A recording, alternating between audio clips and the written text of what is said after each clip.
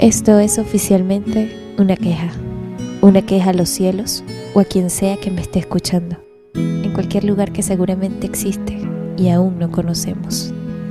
Un lugar recóndito que nadie conoce, pero al que todos quieren ir, porque un día un fulano dijo que era un lugar de paz.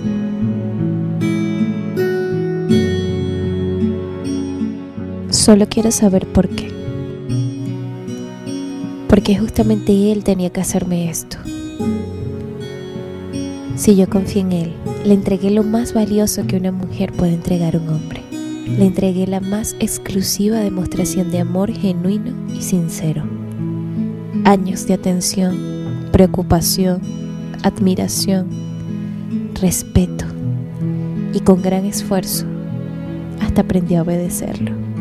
A tu lado me llegué a sentir la mujer más segura, protegida y feliz del planeta. Por eso me alegraba atenderte, recibirte, desayunar a tu lado, leer un buen libro, que me besaras en las noches y dijeras con tus labios, tranquila, todo va a estar bien. Por eso exijo que alguien me explique qué hice para que un día solo dejaras de hablarme, para merecer esta soledad que me causa tu ida sin despedidas. Porque tuve que acostumbrarme a tu compañía, como quien se aferra al aire para respirar. Quizás las comidas supiesen menos amargas si estuvieses a mi lado. Tu traición duele hasta los huesos. Sí, para mí es una traición que te hayas ido de mi lado sin darme tiempo a que yo pudiera impedirlo. Verte partir ha sido la experiencia más amarga de mi vida. Y es que tener un hombre tan dulce a mi lado fue una bendición. Debo solo correr y pensar que algún día el destino volverá a encontrarnos. Y allí me explicarás qué pasó. Quiero escuchar de tu boca que luchaste para que no pasara, que querías permanecer a mi lado y te aferraste, pero que no dependía de ti. ¿Qué fue eso? La vida, el destino, que te apartaron de mí. Necesito sentirte, así como se sienten dos manos estrechándose cuando hay amor. ¿Será esto lo que más extrañaré de tu partida? Lo disfruté como nunca, sentir tus manos por última vez. Y aunque mis labios estaban callados, mi alma rogaba que te quedaras.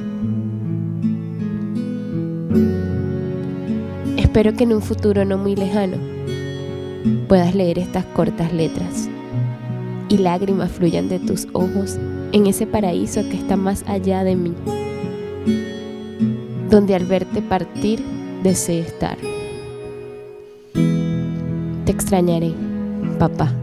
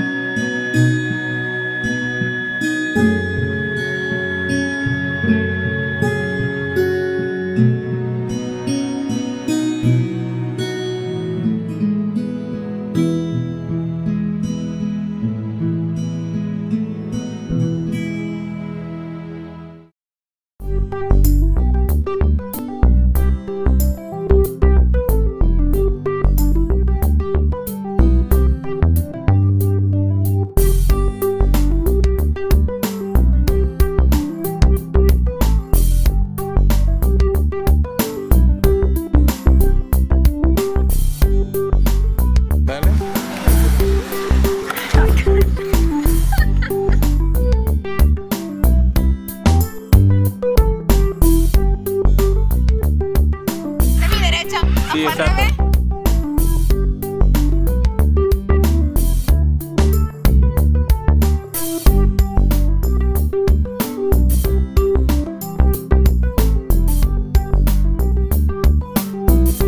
Oh, tá mira, acción también.